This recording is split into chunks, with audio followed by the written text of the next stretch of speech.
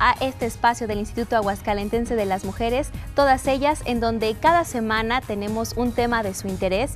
Por supuesto, tratamos de desmenuzarlo de una manera muy práctica, muy cómoda, una plática entre amigos, gracias a nuestros invitados especialistas en los distintos temas que tratan de disiparnos cualquier duda que tengamos, por supuesto, del tema de esta semana. El tema de hoy es bastante interesante, pero antes de entrar de lleno a esto, le queremos mandar un afectuoso saludo a nuestra compañera Yadira Sánchez, quien por motivos de salud no puede acompañarnos en este programa. De todo cariño por parte de la producción. Esperamos que pronto te mejores, Yadi, para que te reincorpores con nosotros. Y ahora sí, el tema del día de hoy es mejora tus finanzas y nuestra especialista nos va a dar uno que otro tip para que realmente tengamos una buena relación con el dinero. Pero antes de conocerla, es momento de que vayamos a también conocer el dato que tenemos para ustedes en esta ocasión. En un estudio realizado en Estados Unidos, solo un 52% de las mujeres se considera segura de sus inversiones, frente a un 82% de los hombres. Y es que es importante que nosotras como mujeres, algunas de nosotras que ya somos líderes de alguna familia, tengamos una buena relación con el dinero y sepamos realmente cómo hacer lo mejor con el ingreso que tengamos ya sea de nuestra pareja o de ambos, por supuesto para el bienestar de nuestra familia. Y nuestra invitada del día de hoy es la licenciada Xochil Padilla, ella es de Relaciones Públicas de MEMAC y también es propietaria del despacho XP Prevención Financiera. Bienvenida. Muchísimas gracias. Yo encantada de estar aquí con ustedes. Sí, hace poquito habíamos estado, por, supuesto, porque recibiste un premio de las mujeres empresarias de Aguascalientes. Entonces, qué bueno, de mexicanas, perdón, qué bueno que otra vez estás con nosotros para hablarnos ahora sí de otra especialidad tuya que también tienes, que es ayudarnos a llevar una sana relación con nuestras finanzas. Sí, así es, muchas gracias. Bueno, encantada de estar aquí otra vez con ustedes. Y precisamente este es un tema que, que, a mí en lo personal me apasiona y que yo creo que es muy importante para todas, precisamente tener esta buena relación con el dinero. ¿Y cuál es el primer punto? Bueno, primero que, que, si administramos bien nuestras finanzas nos va a permitir tener mejor nivel de vida, mejores situaciones, porque luego pensamos de, ay, no, es que lo vamos a dejar de disfrutar si hacemos un control de nuestras finanzas. Y la verdad es que no es cierto, es todo lo contrario. Si hacemos una buena administración, esto nos va a permitir que tengamos mejores eh, cosas, mejor nivel de vida, etcétera. Algo que es importante, y ahorita que lo mencionábamos, yo creo que es que muchas veces no sabemos cómo estamos realmente manejando nuestro dinero. Hay veces que recibimos nuestra quincena o lo que sea, nuestro sueldo, algunas mujeres a lo mejor el gasto que les da su esposo y de repente cuando menos pensamos a los tres días ya no traigo dinero o sacamos del cajero no sé, mil pesos y al, al, otro día, ay, pues yo nada más traigo 300. ¿Qué hice con los otros 700 pesos? Eso es como que no sabemos realmente cómo estamos llevando nuestras finanzas y es importante saber. Claro que es importante saberlo. Yo creo que por eso es el primer paso, saber en qué se nos va el dinero, porque la mayor parte de las ocasiones o de las personas, eh, como bien dices, eh, gastamos, de repente ya nos damos cuenta que ya no tenemos este, la cantidad de dinero que esperábamos y precisamente es porque no sabemos a dónde se nos va el dinero. Mucho de esto es el famoso gasto hormiga, sí. Y no nos damos cuenta. Entonces, una de las principales tareas para resolver esta situación es precisamente llevar un control de todo lo que gastamos. ¿Qué pasaría si, por ejemplo, una semana o 15 días llevamos un control exacto de lo que gastamos? Si gastamos el cafecito, que los dulces del niño, obviamente todos los gastos importantes, pero todos esos gastos que, a veces no llevamos un control, ¿no? Sí, que vas a la tienda y a lo mejor se te hace fácil el niño que dice, mamá, cómprame esto, esto. Bueno, que vale 10 pesos, ¿qué son 10 pesos? Y a lo mejor lo compras y a la hora de la hora en la semana esas idas a la tienda ya no fueron 10 pesos, fueron 50, 100 pesos que te repercuten. Sí, y, no es tanto el no hacerlo. El primer paso es realmente ver en qué se nos está yendo. Dice que la información es bien importante porque nos permite tener un panorama de lo que realmente son nuestras finanzas. Entonces, el primer paso eh, que yo recomiendo es que hagamos ese control en, en qué estamos gastando, en qué se nos está yendo nuestro dinero. Punto número dos, hacer un presupuesto. Ya teniendo esta base, hay que hacer un presupuesto. Ahora hay señoras divinas que tienen presupuestos este, encantadores, pero hay que hacer un presupuesto por categorías. ¿Sí? Vamos a darle primero prioridad. Hay cosas que no podemos eliminar y hay cosas que obviamente no vamos a evitar, como pueden ser las colegiaturas, la alimentación, los servicios de casa, etcétera, ¿no? Y de todos los otros servicios vamos a hacer una evaluación de estos, porque fíjate que en muchas ocasiones no es necesario que no gastemos o que no tengamos ciertos servicios, sino que qué pasa si hacemos una evaluación, por ejemplo, de la línea telefónica, de la televisión de paga, si tenemos servicio de internet, si tenemos varios servicios contratados. Muchas veces los contratamos desde hace tiempo y ya se nos olvidó y lo pagamos continuamente, ya no hemos vuelto. Es como una rutina ya. Exacto, ya se vuelve una rutina, ese gasto ya está programado y se vuelve una rutina, ¿no? Pero ¿qué pasa si nos damos el tiempo de observar cada uno de estos, ¿no? Yo lo acabo de hacer personalmente y te encuentras eh, cada sorpresa porque a veces hay servicios que los tienes incluido, lo estás pagando y ni siquiera te acuerdas que lo tienes y lo peor del caso es que a lo mejor no lo usas, ¿no? Entonces cancelar eso, ver comparativos de competencia obviamente del proveedor que tenemos contra otros, saber qué están ofreciendo y a veces no tenemos que sacrificar el servicio, simplemente es dedicarle un poquito de tiempo para buscar mejores alternativas. Sí, para saber realmente si se está acoplando a mi estilo de vida, a la, a la nueva dinámica a lo mejor que tenemos, porque como mencionabas, tal vez ya lo contratamos desde hace un tiempo atrás y ya cambió, ya nuestro hijo a lo mejor demanda más velocidad, no sé, en el internet, o a lo mejor ya no estoy ocupando llamadas a larga distancia, entonces ya evaluar realmente eso. Y eso nos va a permitir precisamente tener un ahorro y tener algo a nuestro favor, porque un problema muy grave es que como sociedad no ahorramos. Entonces yo creo que, que el punto importante es incrementar. Todo lo contrario, en México la cantidad de endeudamiento es muy alto, ya sea tarjetas de créditos, créditos personales o cualquier otro tipo de crédito, pero hay un porcentaje muy alto de gente con deudas. Entonces estas también las vamos a meter en el presupuesto. Pero vamos a cuidar varios puntos. Uno de estos puntos es no endeudarnos más de lo que tengamos capacidad, obviamente, para pagar y hacer un plan para pagarlo. Yo creo que no está bien estar con esas deudas. Entonces, hay que hacer un plan, aun por muy difícil que parezca, podemos hacer un plan. Tercer punto, como lo mencionaba, evaluar. A veces hay otros bancos en donde si tú transfieres la deuda, pues te pueden bajar la tasa o puedes negociar con ellos plazos fijos, pero entonces ya vas a tener un fin en tu deuda, ¿no? Y no manejar de que, bueno, lo debo, lo pago y me vuelvo a endeudar, lo pago y me vuelvo a endeudar, o sea... Eso pasa mucho creo que con las tiendas departamentales. Ahora sí que somos fanáticos de, ay, bueno, están los famosos meses sin intereses, compro esto, acabo lo voy pagando, ya lo acabé de pagar, ah, bueno, entonces deja, compro otra cosa y eso al final de cuentas es como una bolita de nieve que ahí va y ahí va y siempre seguimos teniendo ese gasto. Sí, y además fíjate que lo más triste no es que no gastemos en ciertas cosas, sino el problema aquí son los intereses. Dicen que el dinero, una de dos cosas, este, puede trabajar para nosotros o nosotros trabajamos por dinero. Y cuando nosotros estamos pagando intereses, pues realmente estamos desperdiciando el dinero. ¿Sí? ¿Qué pasa si lo hacemos al revés? A lo mejor cuando hay oportunidades realmente de precio, no esos de meses sin interés, o sea, de precio, ir a comprarlo. Pero obviamente todo esto lo vamos a hacer, pues vamos paso a pasito, ¿no? Para que puedas tener la liquidez necesaria y poder comprar, pero en oportunidades.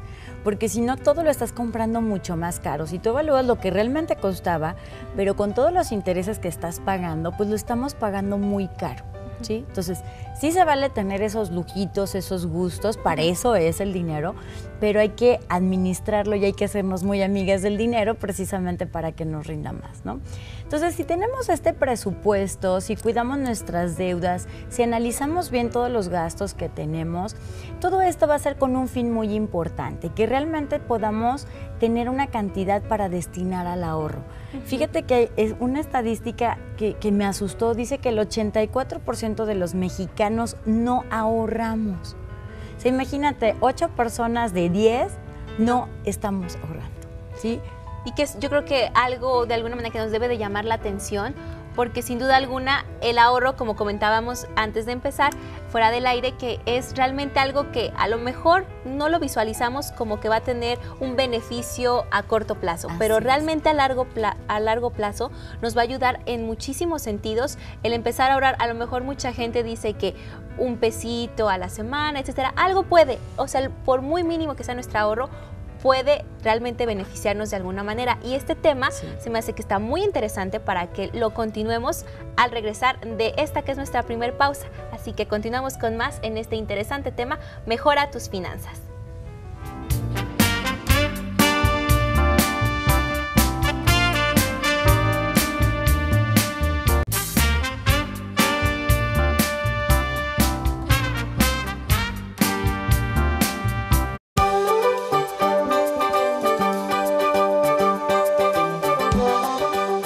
No es moda el maltrato.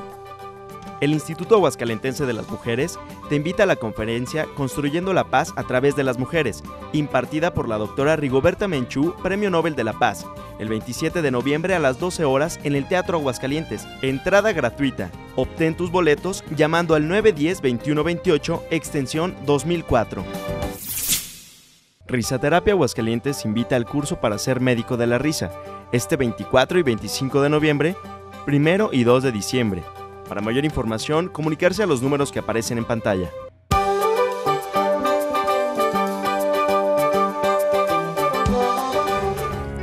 Aquí estamos de regreso y es importante que conozcan las noticias que día a día está realizando el Instituto Aguascalentense de las Mujeres para que conozcan los programas, las conferencias, todo lo que se realiza, por supuesto, en pro de mejorar nuestra calidad de vida. Acérquense al instituto para que conozcan las próximas actividades y, por supuesto, puedan formar parte de cada una de ellas. Y nosotros quedamos con el tema del ahorro en el aire, continuamos con la licenciada Xochitl Padilla, que ella nos va a comentar precisamente cómo debemos de hacer nosotros que no tenemos la cultura del ahorro para realmente incorporarla y ver beneficios de esto.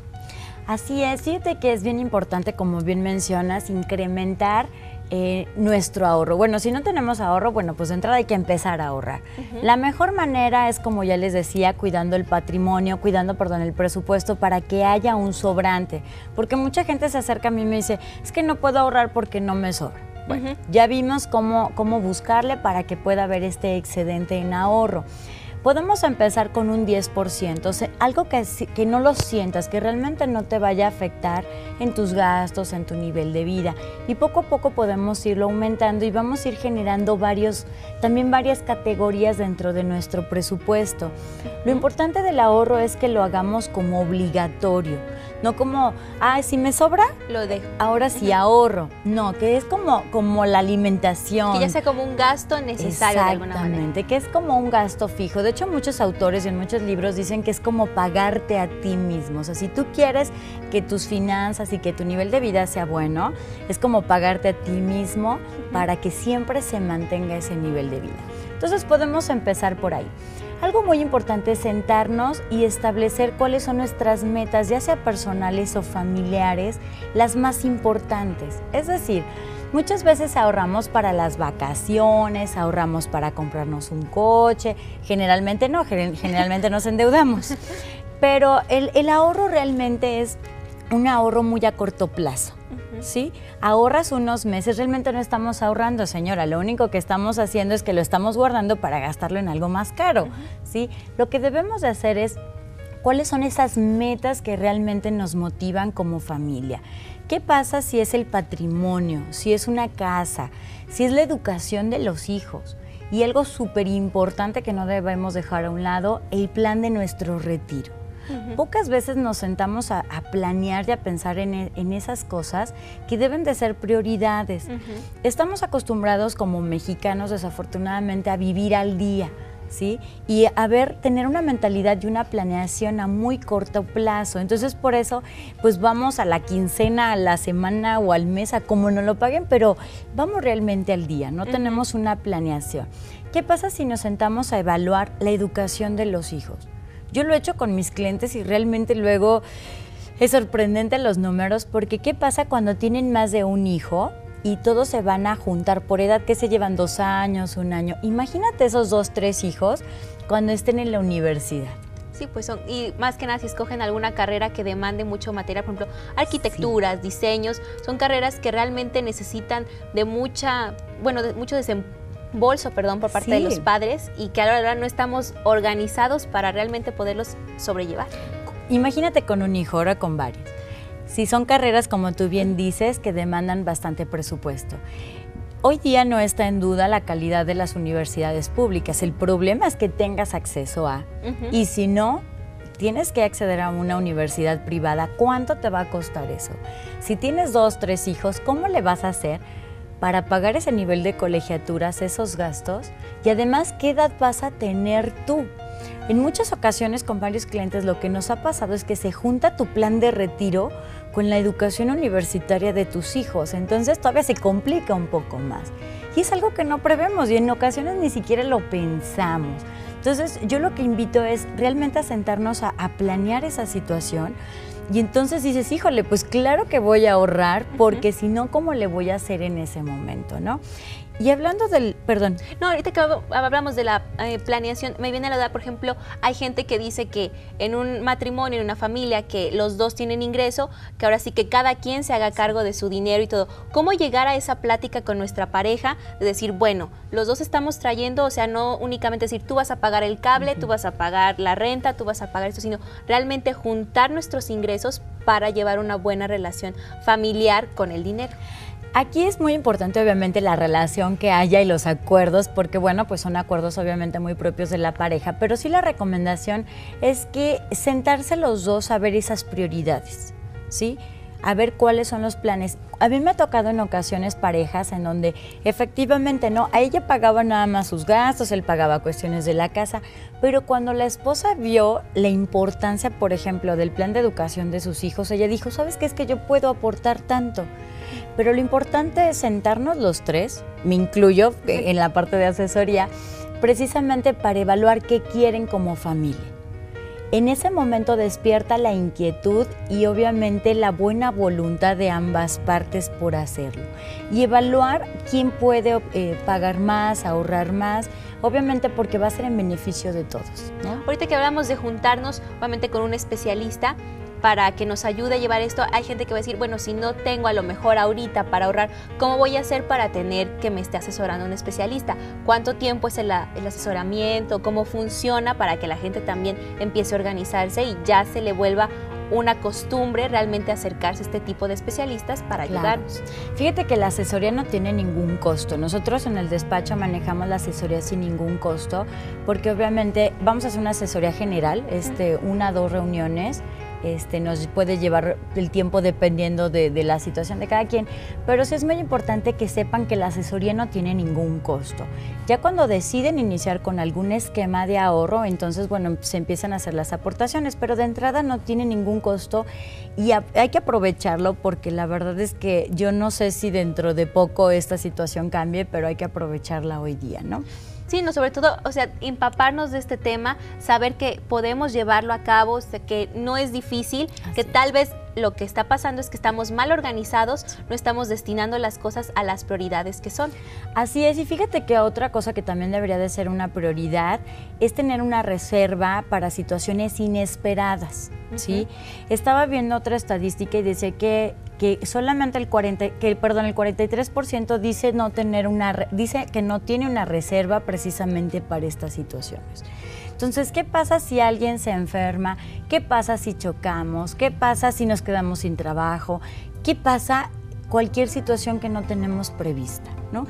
Y aquí no estoy hablando de enfermedades graves, porque no se trata de tener el, respaldo suficiente para ello, pero sí por lo menos tener para pagar el deducible o para poder tener unos meses de respiro en lo que puedes encontrar otra solución. Entonces, dentro de nuestro presupuesto también es importante agregar una reserva ¿sí? precisamente para situaciones de emergencia.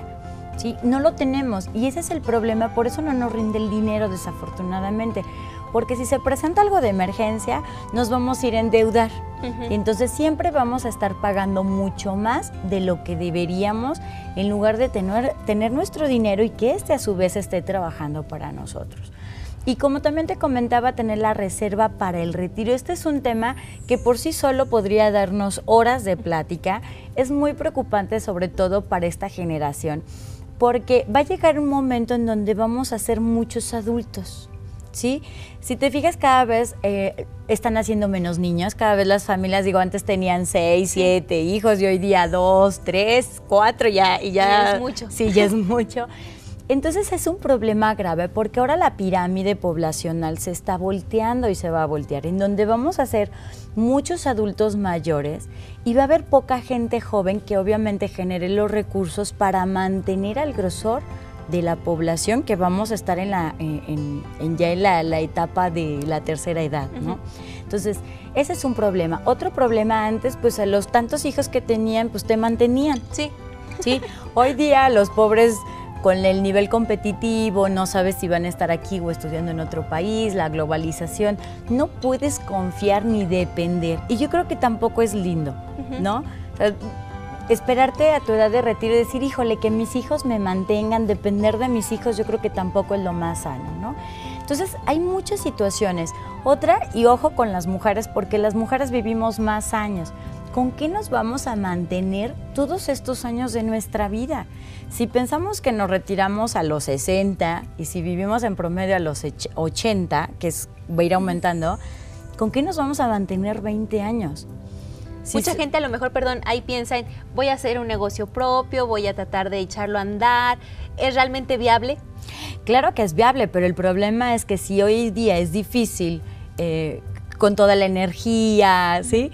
Imagínate a esa edad de empezar un negocio y ahora si no tienes la experiencia, si no lo hiciste antes, ¿cómo vas a tener la experiencia a los 60 años para iniciar apenas un negocio? Es viable, sí, pero hay que diversificar. Una de las reglas financieras es que diversifiques. Como dicen vulgarmente, no poner todos los huevos en la misma canasta. ¿sí? Entonces, ¿qué es lo que yo recomiendo precisamente eso? Diversificar. ¿sí? Tener una cantidad garantizada que a lo mejor tú tienes una cantidad aparte y dices, bueno, con esto voy a emprender un negocio, pero ¿qué pasa si no funciona? ¿Sí? El negocio. Que tú tengas una cantidad garantizada para que, para que puedas mantener un nivel de vida, ya no quieras con lujos, digno. ¿Sí? Es muy triste ver, por ejemplo, cantidades. Estaba viendo que el monto promedio de la pensión hoy día, promedio en México, es de 1.959 pesos. Entonces, toda esa gente que piensa que se va a pensionar, híjole, bienvenidos a la realidad, que es muy triste. Pero bueno, no, hay que ponernos tristes en el sentido, sino que, tiene que ser un motivante, sí. de decir, algo tenemos que hacer. Y si no lo hacemos, va a ser tarde. La mayoría de la gente piensa en este tema cuando ya está... Ya está cerca, ahora ya está cerca, sí, ya cuando están los 50, 50 y tantos, dice, ay, ahora sí me voy a preocupar por mi retiro. No, recomendación, entre más joven vamos a tener el tiempo a nuestro favor y aunque ahorremos poquito, este dinero se va a estar reinvirtiendo y obviamente nos va a alcanzar para una mejor este, un mejor retiro, una mejor pensión. Este tema está muy interesante y yo creo que vamos a continuar con más porque sí, la verdad, yo creo que a muchos ya les cayó, como dicen también, el 20 de que no todo se puede dejar para después, sino hay que empezar a organizarnos con nuestras finanzas, pero llegó el momento que hagamos un corte, todavía regresamos porque vamos a seguir platicando más acerca de mejorar nuestras finanzas.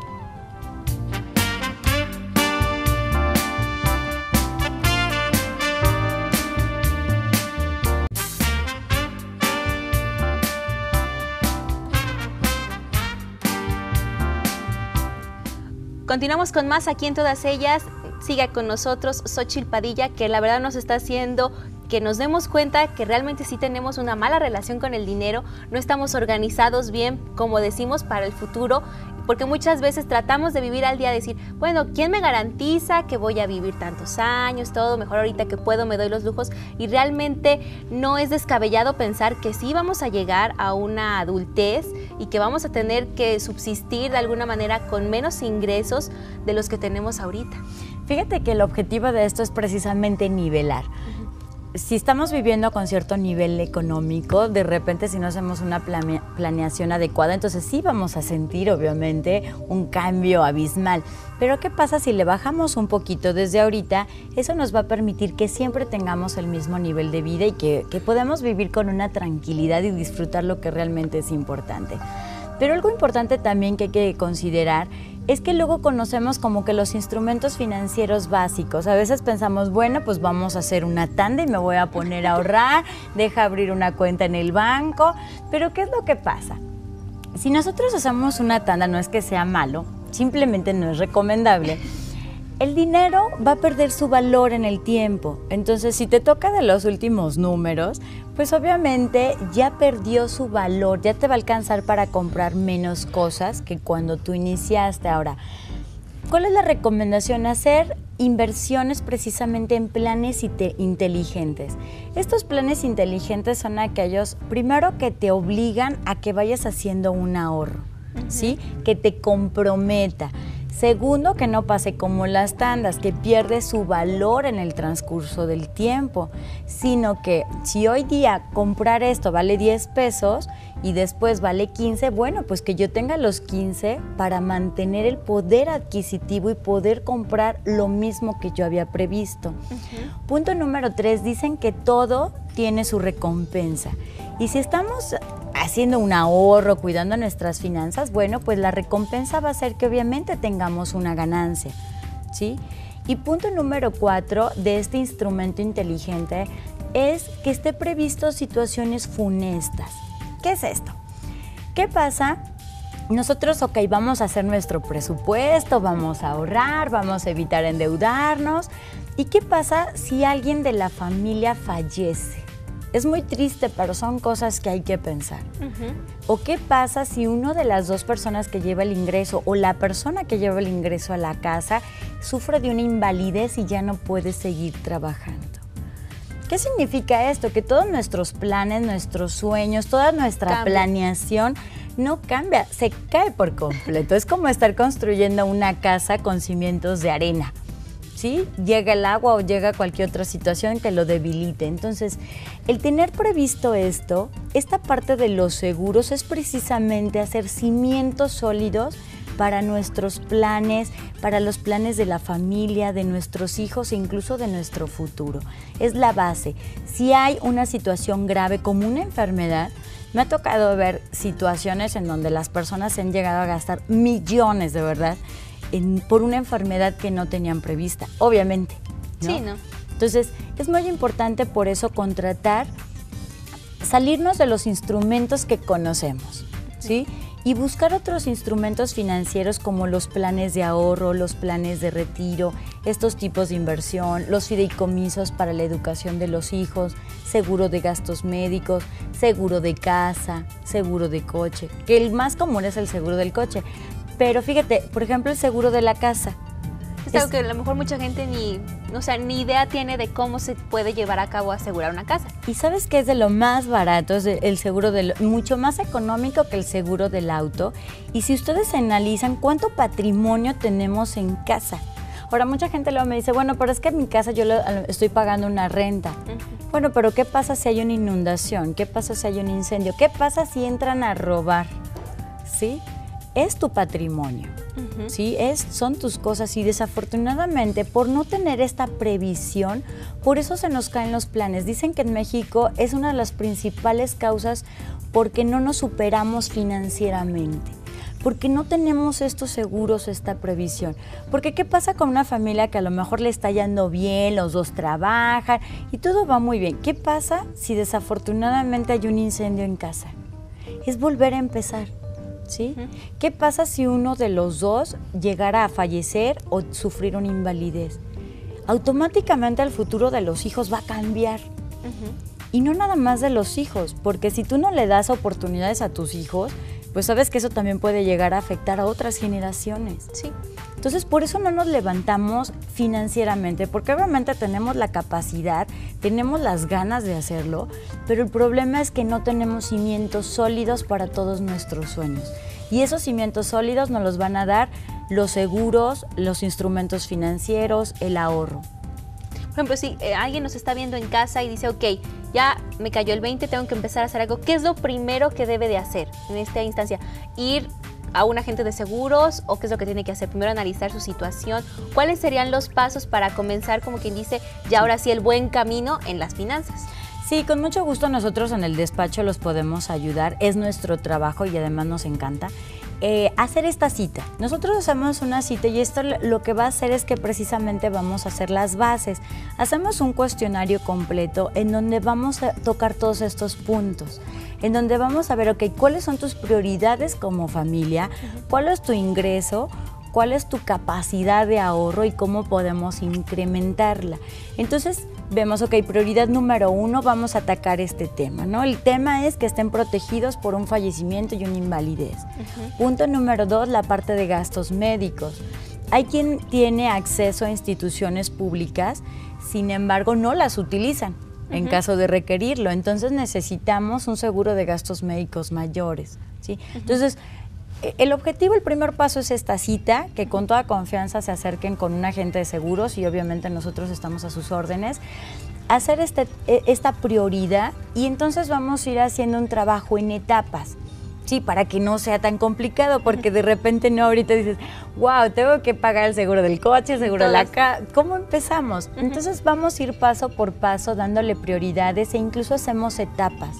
Entonces, le bajas, optimizamos recursos de un lado para iniciar con otro plan. ¿sí? Entonces, vamos a ir haciéndolo por etapas y obviamente conjuntos, conjuntamente sobre cuáles son las prioridades y nosotros buscar cuáles son las mejores alternativas para optimizar sus recursos.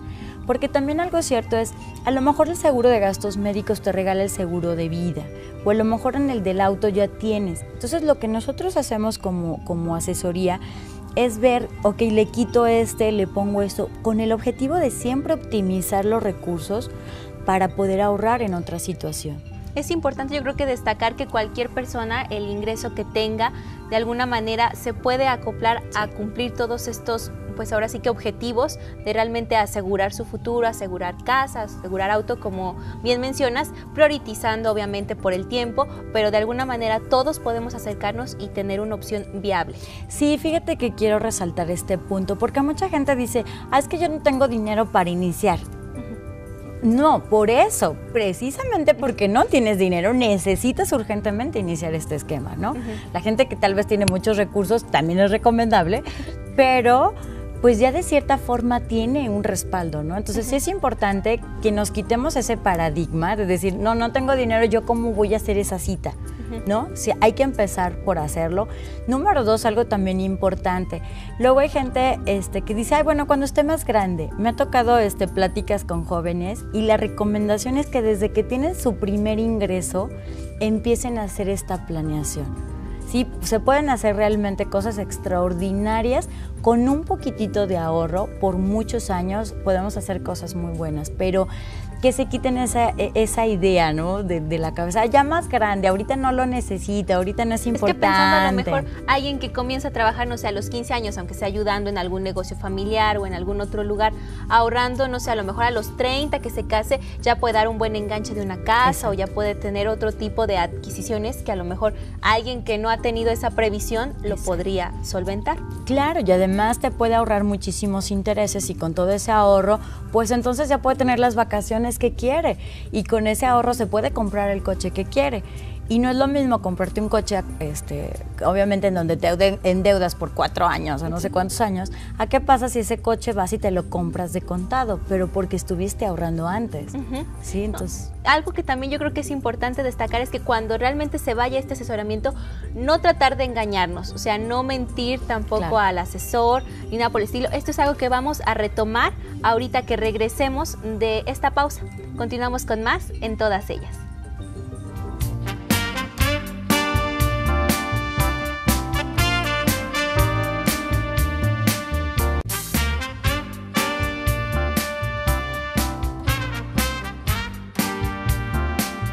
Continuamos con más aquí en todas ellas. Gracias por continuar con nosotros. Y está interesante el tema y nos quedamos con esto antes de la pausa. Cuando realmente ustedes ya se decidan como familia o como alguien individual, que apenas, como decía Xochitl, está empezando en este mundo de adquirir dinero por un trabajo, realmente vayan sinceros. No vayan a tratar de decir gano más, gasto menos, sino realmente para que sirva esto es mantenernos realmente sinceros con nuestro asesor. Sí, porque si no realmente no sería, no nos serviría, ¿no? Entre más objetivos seamos con, con nuestras respuestas sobre esta asesoría, bueno, pues va a ser de mayor utilidad. Algo también importante es que luego pues sabemos diferentes tipos de personas. ¿A qué me refiero? Habrá gente soltera, gente con hijos, sin hijos, divorciadas, madres solteras, etcétera, ¿no? Todos siempre necesitamos algo. ¿Sí? Aquella persona que está soltera realmente es bien importante que lo vea, porque hay gente soltera que me dice, ay, no, yo cuando me case, ¿no? Ah, yo cuando, tengo, cuando tenga hijos, ¿no? Entonces es muy importante porque precisamente si alguien está soltero no va a depender de nadie para su retiro. ¿sí? ¿Qué pasa si los dos, si están casados y los dos tienen un ingreso? Bueno, como platicábamos hace rato, conjuntarlo de tal manera que se puedan optimizar los recursos, ¿no? Madres solteras, indispensable. Nada más piensen qué pasaría con sus hijos si ustedes faltaran y si no tenemos previsto esto, ¿no? Y también prever incluso desde quién va a ser en un momento dado la persona que se va a hacer cargo de sus hijos. También vemos la parte de hacer un testamento, algunas recomendaciones. Entonces es una asesoría muy completa independientemente de su situación actual económicamente, de su, de su situación sentimental. Eh, independientemente de la edad, de muchas cosas, ¿no? Pero lo importante sí es tomar conciencia qué queremos para nosotros, para nuestra familia y qué vamos a querer para nosotros en unos años, ¿no? Y es importante, yo creo que si de solteros, como mencionas, se adquiere este hábito de realmente planificar al momento de que si llega a pasar, de que realmente unan su vida a alguien más, tratar de orientar a su pareja a que igual que ellos mantenga esa visión y no al contrario, sino que, ah, yo ya planeaba y todo, pero pues, ay, mi esposo o mi esposa es de las que les gusta gastar y vámonos aquí, acá, y al final de cuentas todo lo que habías tratado de conseguir se desmorona. Es un tema bien importante, precisamente por eso, porque luego las discusiones es, que a alguien le encanta ahorrar y al otro no. Entonces, encontrar un punto medio, ¿no? Yo creo que también se vale el disfrutar, insisto tener finanzas sanas, el objetivo es que las disfrutes, ¿no? que, los recursos sean un medio precisamente para disfrutar un buen nivel de vida. ¿sí? Simplemente pues hay que encontrar un punto medio en esa situación de las parejas. Y algo muy triste, pero que es una realidad también es el nivel de divorcios que hoy día existe. ¿no? ¿Qué pasa? Con las personas. Imagínate una señora que a lo mejor su esposo era el único ingreso y de repente se divorcian. El nivel económico de ella, bueno, es de todos, dependiendo de la negociación, pero realmente me ha tocado eh, desafortunadamente ver cómo situación de señoras que tenían un muy buen nivel de vida de repente llegan y dicen, es que sabes que me divorcié y desafortunadamente mi economía está fatal. Sí, eso sea una, por ejemplo, a la depresión que les da de, como dices, el nivel que tenían de vida, lo que estaban acostumbradas y de repente van a tener todo eso, más la depresión del divorcio. Más la emocional. E, es una situación difícil. Yo por eso, por eso toco este tema, porque me ha tocado ver a muchas señoras en esta situación y es muy triste. Es importante también que sí que como esposos, como familia, lleves una planeación, pero también es muy importante todas esas señoras que hagan su propia previsión Incluso con algunas amigas este, de broma bromeábamos sobre el seguro para el divorcio, por si me divorcio, por si fallece mi esposo, por una situación muy triste, Dios quiera y no, ¿sí? Hay que pensar que no. Pero más vale preverlo y tener, ahora, no pasó nada, qué bueno, entonces voy a tener un ahorro, ya te invito a mi esposo y vámonos de viaje. Sí. ¿Sí? O sea, también podemos verlo por ese lado, pero lo importante es prever porque desafortunadamente ha sido un tema triste, que no nos gusta verlo, pero que es una realidad. ¿no? Sino también yo creo que quitarnos esa máscara, esa etiqueta que tenemos de que el ahorrar es privarnos de cosas y que realmente es, ay no, pero ahorita, ay, no, es que mejor sigo trayendo este dinero por si algo pasa. O sea, es mejor realmente tenerlo en una inversión que realmente pueda a la larga traernos algún beneficio. Claro, e, es, la regla básica, tener la parte de un ahorro como algo obligatorio e insisto, tener la parte de la previsión, el fondo de emergencia, los seguros, indispensable. Eh, veo estadísticas y es muy triste el nivel de seguros que hay en México, de coches, por ejemplo, que pensamos que hay más, como que todo el mundo tiene asegurado su vehículo. No es cierto. Siete de cada diez coches no están asegurados en México. ¿sí? Entonces, no somos tan previsores como luego decimos. este, entonces, sí es importante que, que, tengamos esa previsión porque volvemos a lo mismo. Imagínate tu coche es una inversión y de repente este, pérdida total o te lo robaron o algo, imagínate otra vez el sacrificio para volver a comprarte otro coche, ¿no? Decía muy padre, mi padre, este, muy sabiamente, em, cuida, a veces por cuidar los centavos, perdemos los pesos. Y es muy cierto, a veces por querernos ahorrar un poquito de, ay no, ¿para qué compro el seguro? Capaz de que ni me pasa nada. Sí, iba a comentar precisamente, hay gente que dice, de la agencia cuando compras un coche nuevo normalmente viene con seguro, no sé, un año, algunos meses, y ya cuando llega el momento de renovarlo dices, pues si no me pasó nada en este tiempo, no tiene caso que lo renueve. Y a la hora de la hora a lo mejor sí lo vas a ocupar. Sí, y adivina cuál es la sorpresa, ley de Murphy, ¿no? Cuando ya no está asegurado, ¡ah! me lo robaron es muy común, nosotros lo vemos todos los días. Lo mismo sucede en el seguro de gastos médicos, ¿no? Mucha gente me dice, no, hombre, es que somos muy sanos en la familia, nunca nos enfermamos, etcétera, etcétera, ¿no? Y de repente este, me habla, ¿sabes qué? Cirugía de XY, 500 mil, un millón, etcétera, y dices, ¡ah! ¿Por qué no lo contrataste? Y que a lo mejor el seguro, bueno, no sé cómo sean las tarifas, pero puede ser un desembolso, no sé, de 200, 500 pesos al mes tal vez, y que no se ve, o sea, no te afecta tanto como dices, que ya después cuando son realmente gastos, dices, ahora de dónde saco el dinero. Sí, el seguro de gastos médicos realmente es un salvavidas de nuestra economía. Y está demostrado estadísticamente, por tristeza, este, que sí nos va a pasar algo. O sea, las estadísticas dicen que tarde o temprano nos va a pasar algo. Ojalá y sea algo muy simple y que no pase a mayores. Pero hoy día realmente es un problema muy grave que tenemos en México el tema de la salud. Sí, estamos hablando que dos de cada tres mujeres fallecen por enfermedades que pudieron haber evitado. ¿Qué significa los malos hábitos? ¿Sí? Número uno, sobrepeso. Recuerden que somos el segundo país con sobrepeso en toda la población general. Las enfermedades como diabetes, hipertensión, ¿sí? ¿Qué pasa con estas enfermedades? Van a consumir el patrimonio. ¿sí? Una persona con diabetes se gasta mensualmente cerca de 2.500 pesos en promedio. ¿sí? Entonces, Diabetes que estamos hablando que entre comillas es algo sencillo, que se puede controlar. Sí, sobrellevar de alguna manera con alimentación. ¿Qué pasa con un cáncer? ¿Sí? ¿Cuánto dinero nos vamos a llevar? Imagínate que tú o alguien de tu familia dicen, ¿sabes qué? Pues requieres quimioterapia, cirugías, tratamientos, etcétera. Pues te necesitas ahorita 500 mil pesos. ¿Sabes qué? Eh, la proyección es que te vas a gastar 3 millones. Pero claro que te puedes salvar. ¿Qué haces? O sea, imagínate la frustración de la familia de decir, híjole, pues es que aunque venda... Sí, mi casa, mi coche, todo. Y es la salud de tu ser querido o tu propia salud. Y se oye triste, pero es tu propia vida. Entonces es bien importante hacer conciencia de esto. No lo vemos porque generalmente siempre lo vemos, le pasa a los otros, ¿no? A mí no, ¿sí?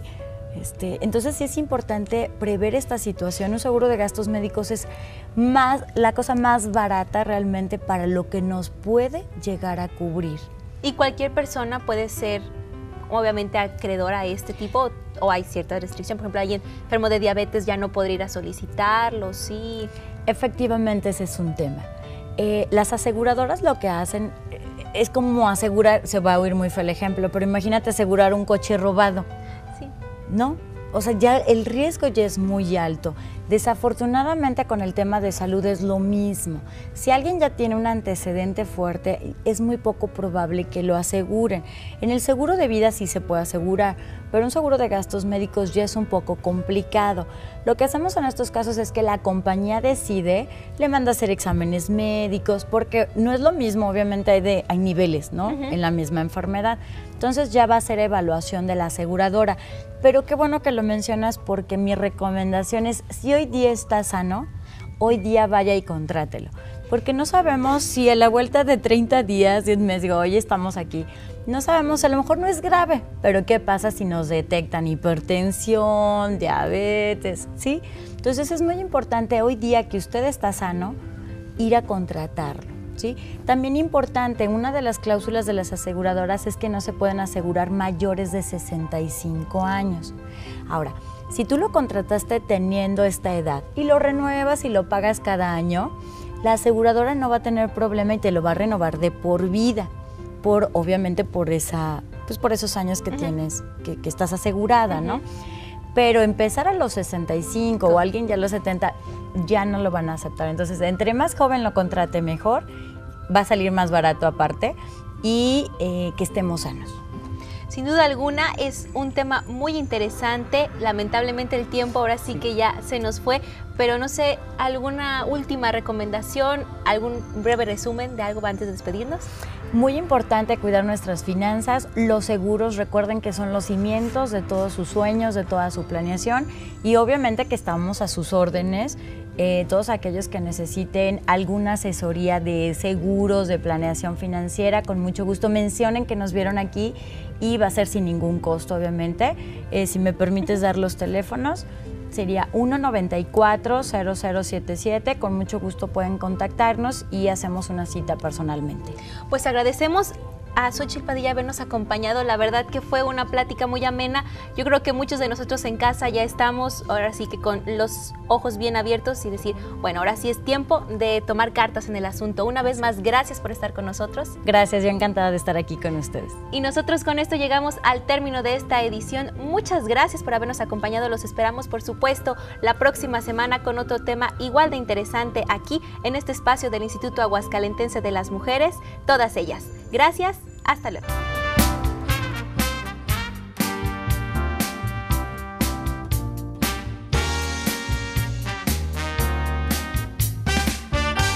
Esta fue una producción de Aguascalientes TV.